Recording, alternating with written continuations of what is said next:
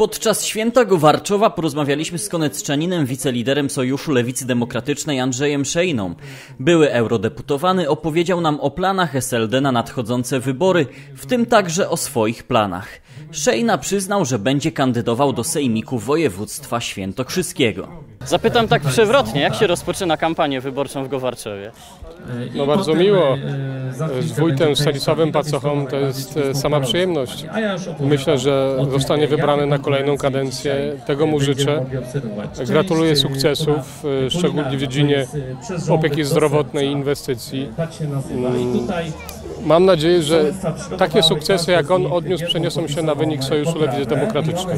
Sondaże dla SLD są dobre. E, Nie powiem, że jestem tym zaskoczony, powiem, że jestem e, tym zachwycony.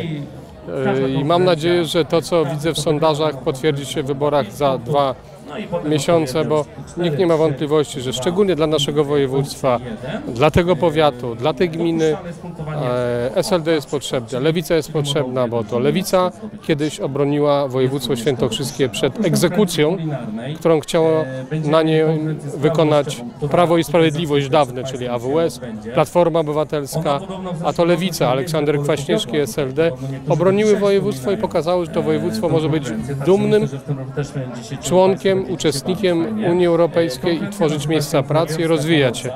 Żałuję, że dzisiaj nie współuczestniczymy e, na przykład w Sejmiku Wojewódzkim we władzach, bo obecna koalicja jest słaba. Brak SLD powoduje, że wiele młodych osób emigruje, że pewne inwestycje się nie odbywają, no ale jeszcze większym zagrożeniem dla tego województwa jest Prawo i Sprawiedliwość. Tak więc e, zrobimy wszystko, żeby jak najwięcej lewicy, jak najwięcej sojuszu było e, w samorządach, bo to znaczy, że jak najwięcej będzie miejsc pracy, jak najwięcej będzie inwestycji. Czy za te nieco ponad dwa miesiące sytuacja w województwie może być taka, że wszyscy kontra PiS? Nie patrzę na to w ten sposób. Także y, do tej konferencji również serdecznie zapraszam. Szczerze mówiąc, najbardziej dla mnie optymalna sytuacja byłaby taka, gdyby SLD zdobyło, co wiem, że będzie trudne i nie oszukujmy się, gdyby SLD zd- zdobyło bezwzględną większość i rządziło samodzielnie w województwie. Bo ani nie potrzebujemy PiSu, który pokazał e, Mistrzostwo Świata w rujnowaniu państwa i wizerunku na arenie międzynarodowej, ani nie potrzebujemy PSL-u, który tylko potrafi obsadzać e, na stanowiskach swoich kolesi, ale tym bardziej Platformy Obywatelskiej, która rządziła 8 lat, no i też doprowadziła do sytuacji, w której e, używając tak zwanych białych rękawiczek robiła to samo co PiS. Dzisiaj potrzeba jest czystej, uczciwej i otwartej lewicy.